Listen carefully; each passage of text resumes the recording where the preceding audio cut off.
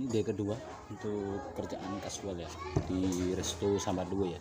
Semoga hari ini bisa berjalan sesuai dengan kontrak.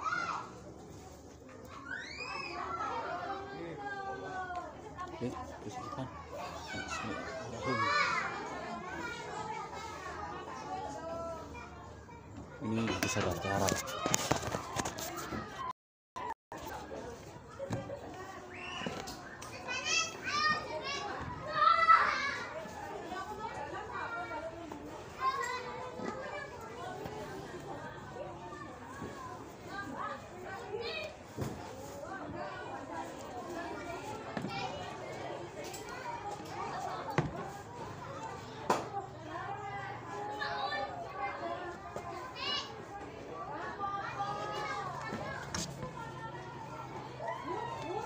Oke.